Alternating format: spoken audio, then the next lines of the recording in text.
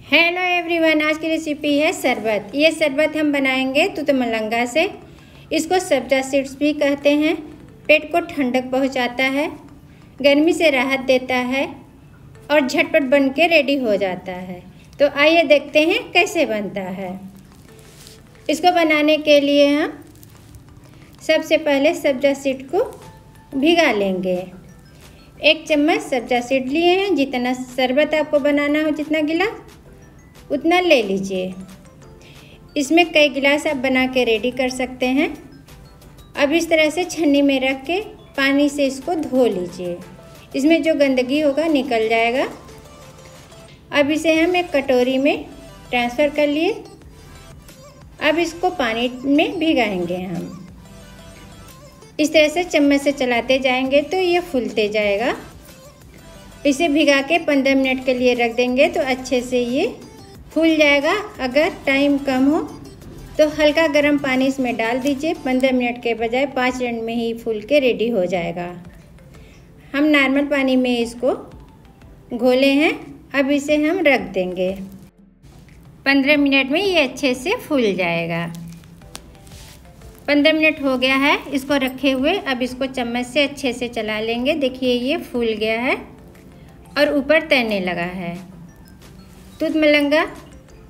हमारे सेहत के लिए बहुत फ़ायदेमंद होता है और कई बीमारियों में भी ये लाभदायक होता है। बहुत लोग बहुत पसंद करते हैं, बहुत लोग नहीं पसंद करते हैं दूध मलंगा को, लेकिन इस तरह से शरबत बनाएँगे तो मांग कर पियेंगे एक गिलास ठंडा दूध लिए हैं, जितना आपको बनाना हो उतना गिलास दूध ले लीजिए। आप चाहें तो शुगर पाउडर इसमें डाल दीजिए या साबुत चीनी डाल दीजिए। इसको घोल लीजिए। चीनी घुलने में थोड़ा सा टाइम लेता है। चीनी का जो पाउडर होता है, वो फटाक से घुल जाता है। बहुत टाइम ये चीनी भी घुलने में नहीं लेता है। देखिए बातों बातों में घुल के रेडी हो गया है। अब रुआवज़ा लिए हैं। दो चम्मच इसमें से हम रुआवज़ा डाल देते हैं। छोटे चम्मच से आप थोड़ा सा रुआवज़ा का क्वांटिटी अपने पसंद से कम ज़्यादा कर सकते हैं। रूअफ़ज़ा को भी घोल लिए हैं। देखिए इस तरह से। दूध के साथ रूअफ़ज़ा चीनी सब घुल गया है। इसी स्टेज पे आप चाहें तो दूध मलंगा डाल दीजिए या तो फिर गिलास में डाल लीजिए। अब इसमें हम आइस क्यूब डाल देंगे। दूध तो ठंडा है, लेकिन और ठंडा शरबत पीना है तो आइस क्यूब भी डाल दीजिए, दूध मलंगा भी डाल दीजिए। देखिए इसको एक बार अच्छे से हम और चला दे रहे हैं। और गिलास में डाल दे रहे हैं।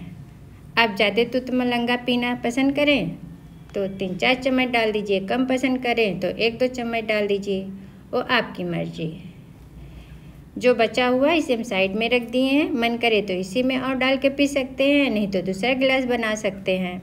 तो इस तरह से आइस क्यूब भी डाल दिए और झटपट टेस्टी शरबत बन के रेडी है। वीडियो पसंद आए तो चैनल को सब्सक्राइब करिए लाइक शेयर कमेंट करिए। Thank you watching for this video.